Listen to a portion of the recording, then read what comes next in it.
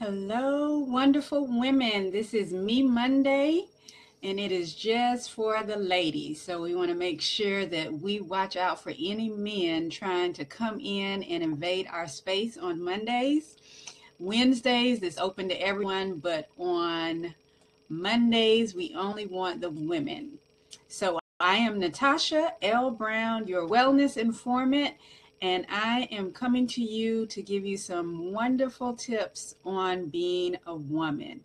So, definitely want to encourage you, and that's why our topic tonight is Encourage Me. Hello, Margot. Thank you for joining me. So, I just have some tips I want to share and just want to give a little background on um, myself. My website is whathappenedtoyourlastmeal.com what happened to your last meal.com or you can um, go to my facebook page which is new peace wellness with natasha and you can always get information there as well. So what i do is i am a wellness a wellness and weight loss consultant a coach. I assist women men and children into um, wellness as far as weight loss um, reversing any illness in the body um, directing to supplements. And usually, what we do, our main focus is making sure that you are eating well. So, if you're eating right and eating the foods that give your body life, then what happens is you'll begin to see results.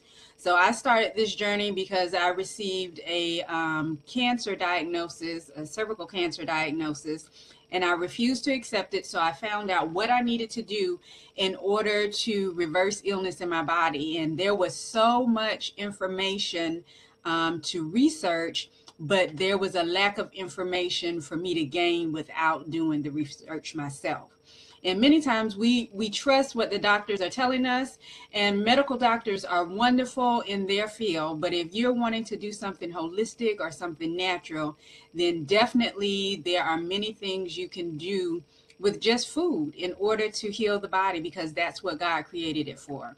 So again, welcome to all our wonderful women.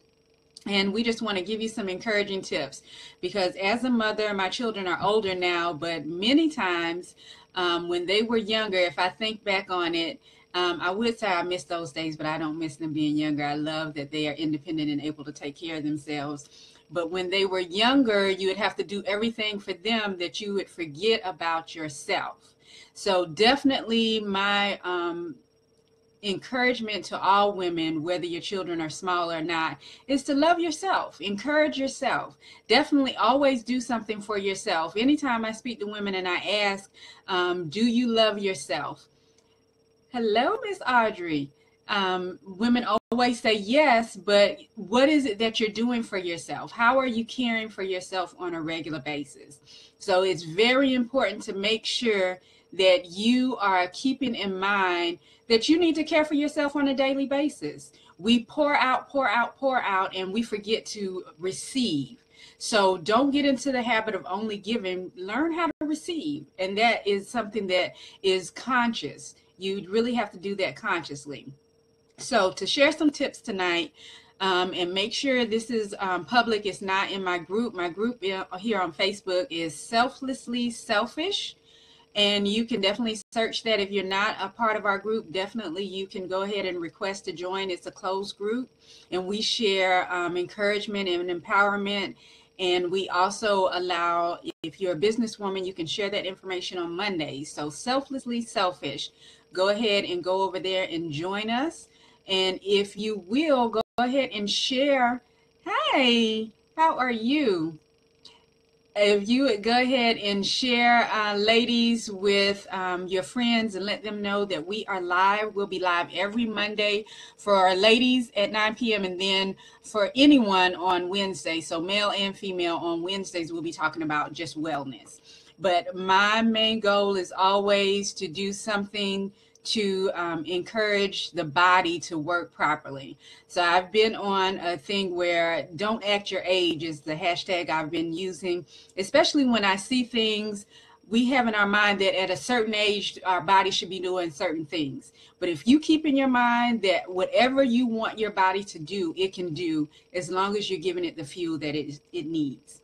So some self-care tips For this evening, we are going to deal with, I'll give you um, a few of my favorites. There is a long list. So, um, make sure you compile a file of documents of things you like to do, things you want to read later, things that encourage you. That's always something good. So if you do have small children and if you're waiting for them somewhere, um, you drop them off somewhere and you're sitting in the car waiting or sitting inside waiting, you can have something to read and encourage yourself with or even a great video that you've been meaning to look at. So you can take time. We, we say we don't have time, but everyone has 24 hours in the day is how we use our time. So if we manage ourselves, self-management, not time management, then we can get everything done that we need to get in place.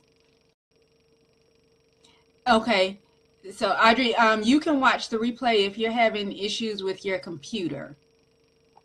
All right. So we also want to, um, the first one was compile a file. You can also change up the way you make your decisions.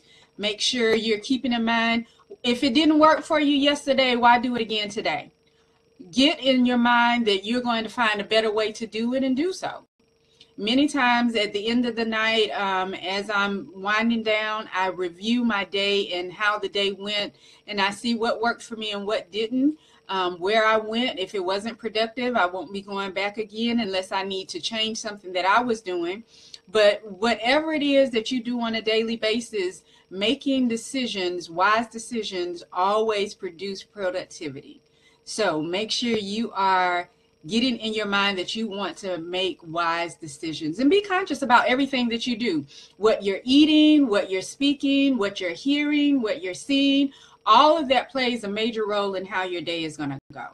So go ahead and make sure that you are sharing the video so that you can let other women know that we are here. This is for ladies. so share it with a woman that you know and let them know that we are live here each Monday at 9 p.m. But join me Wednesday. I'll have some wellness information for males and females. So another tip I want to give women as far as self-care, and I like to call it self-love, but it's more popular. The hashtag self-care is more popular. But if you're loving on yourselves, um, you can type in some things that you do for yourself on a daily basis or a weekly basis, little things that you um, can think of that you want to do in order to make yourself feel better. So um, purchasing clothes, purchasing makeup, jewelry, any of those things are some great ways to make sure that you're loving on yourself. But other self-care items, you want to make sure that you are creating deliberate habits. Again, being conscious in everything that you are doing. So if you're not conscious of what you're eating and you're not feeling well, then you can't review the meals that you've had previously to see if something you ate today made you sick.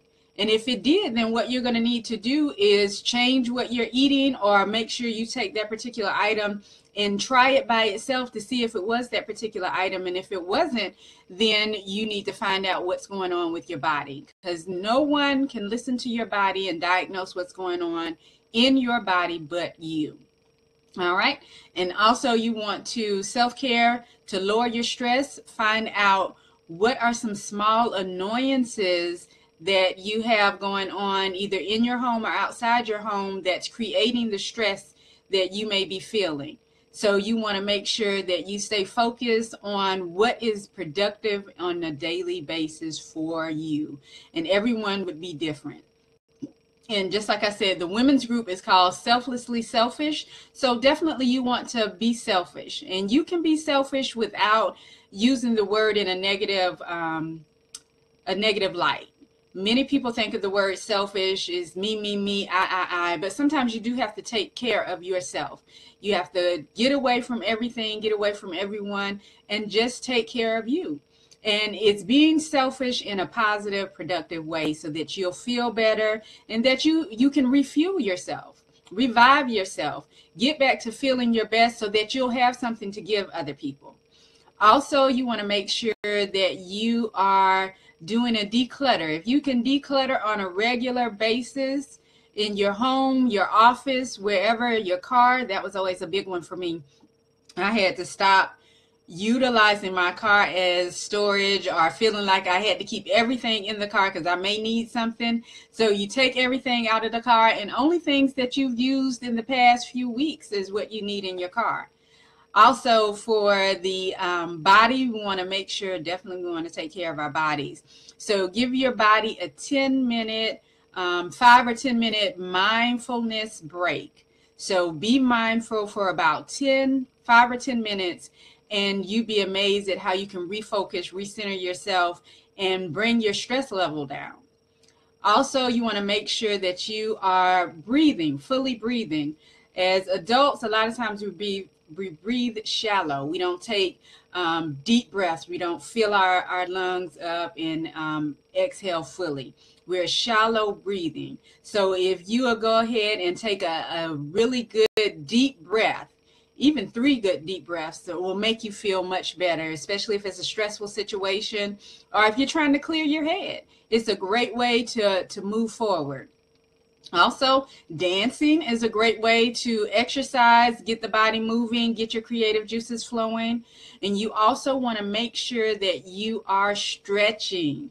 Each morning definitely and before you go to bed is a great time to stretch. If you're not doing yoga or pilates make sure you're doing some type of stretching exercises to make sure you loosen up the entire body. Um, also um, any other forms of exercise that work for you would be great also you want to narrow down the food choices like i mentioned before find out what works for you as far as your food what you're eating um, what you're not eating, you may need to add some things into your food lifestyle. As we mature each year, our body changes, so what we eat changes, how we eat changes. And if you read the labels on foods, many of our foods change on a regular basis, even if the label doesn't change. So pay attention to what you're eating. Also, you want to activate um, your self soothing, soothing self-soothing. So um, self-massage is a great way to relax especially in your shoulders. Many of us hold our tension um, right here in our shoulder and neck area so you want to be able to self-massage and um, learn how to do that so that you can relax also, making small changes, increasing your water intake, increasing your vegetable intake. You don't have to go vegetarian, but definitely the more live foods you eat, the better you will feel on a regular basis. If you're eating live foods first thing in the morning, that would definitely help you throughout the day more so than that cup of coffee you think is giving you the energy you need. You won't have that crash if you eat the live foods getting out in the sun. Today was a beautiful day um, in where I am. Many places it's cold, but if you can get any form of the sun, even if you have to stand at the window and get the sun, it's a great way to energize yourself as well. Having a good laugh is always a great way to uh, rejuvenate yourself and clear your mind. And my favorite is take a nap definitely you want to take a nap. Many times we don't think about taking naps. Um, you know, when we're small and children, we don't want to take naps. But then as we become older, you will find the value in taking a nap because when we are taking naps, it rejuvenates, it revitalizes. Everything that we do for the body is a great way to encourage our bodies to function the way that they were designed to do. So we are self-healing machines. And especially this time of the year, you need to have your immune system up. And if you keep your immune system healthy, then your body will stay healthy and you'll be able to fight off all of the um, illnesses, the cold, the flu, any of the illnesses that are going around. You won't have to worry about it because you know that you are getting plenty of rest, you are hydrated, you are less stressed than you normally would be, and you are living the life of your dreams. So make sure you're doing what you need to do in order to care for yourself. So also when you are caring for the body, you want to make sure you're taking care of your spirit and your emotions. So, being around positive people, like minded people that are going to encourage you and share positive feedback with you. There's nothing wrong with being corrected or being criticized, but definitely you want positive people that are going to share and uplift you. And always keep in mind to do what you love whether it's going out, um, window shopping, actual shopping, retail therapy is always good. Whatever you enjoy doing, going to the gym, um, going to the sauna, whatever you enjoy, make sure you're doing more of that because that is how you increase your body's um, wellness, wholeness. You get to a place where your body will be craving the good things in life. So make sure you're doing what it is that you love. So, with just these few tips, make sure that you are practicing self love, you are practicing uh, self care, and you are staying away from all of the stress. Many of us are unnecessarily stressed from things that we do and places that we go. And sometimes we have the choice. Now, if it's your job, then you, you have the choice as well there too. But just start looking for a new job and be grateful for the one you have, but be open to change. If it's your home life, what in your home can you change in order to make the environment better? Because we spend a lot of time at home, at work, and if you're in school, you spend a lot of time in school. So make sure all of your time where you're gaining the most energy is giving you what you need emotionally, mentally, physically, and spiritually. If it's not feeding you, then you need to reevaluate why you are continuing to go to those places. So, those are the, the tips I wanted to give you. I wanted to encourage you for this Me Monday. And each Monday, um, you can join me, Natasha L. Brown, um, here on Facebook. If you are not following me or if you haven't liked my page, um, New Peace Wellness with Natasha, then do so so that you can be up to date and you can get notifications. And make sure you keep in mind um, that if you have any questions, you can always inbox me or you can share them here in the comment section and I'll go back through and I'll look at them. And also, I want to share, and I'll put the link in the comments. I want to share a free download that I have with you. And it is some wellness tips for women as far as getting what you need physically. So we shared both um, spirit and body tonight as far as the encourage me and the top ways to love on yourself.